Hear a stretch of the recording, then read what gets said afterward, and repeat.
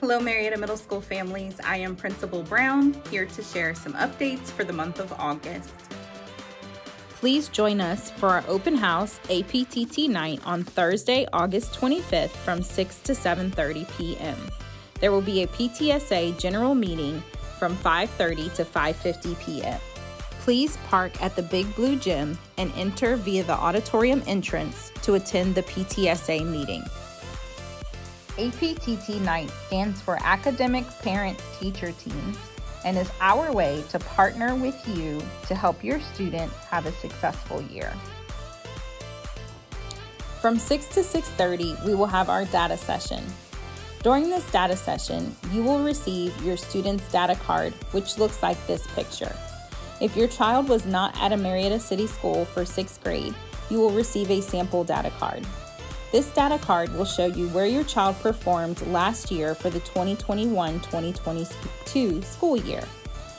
You will also learn more information about where your child should be performing by the end of this year.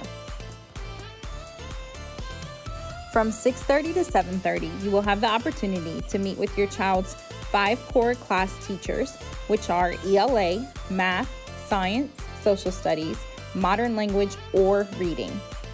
You will also have the opportunity to stop by our seminar room and meet with your child's fine arts, PE, and elective teachers. We hope to see you at our open house APTT night event on Thursday. We will have our MMS Fall Festival on Friday, October 21st from 6 to 8 p.m. Join us for a night of fun that will include a DJ, photo booth, video game truck, bounce houses, yard games, food trucks, caricatures available for purchase for $10, and get a chance to dunk your principal and some of your teachers. Students must be accompanied by an adult we would like to begin our first ever Dads Club. If you would like to volunteer to assist during lunchtime, at Car Rider in the morning, or serve as a mentor, please complete the volunteer form linked in the newsletter. Just a reminder all students must have a signed Chromebook agreement form to take home their device. We will begin sending devices home after map testing on Wednesday. We recommend utilizing the school issued Chromebook so your child will have access to all of our school resources and websites. Please see a copy of our bell schedule here and also included in the newsletter. Our school begins promptly at 7:45 a.m. Students must be in their first period class no later than 7:45 a.m. to not be counted as tardy.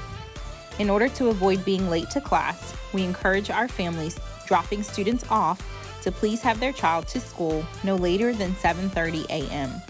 This allows your child to have time to attend their launch class and hear important announcements. This also ensures they arrive at their first period class on time.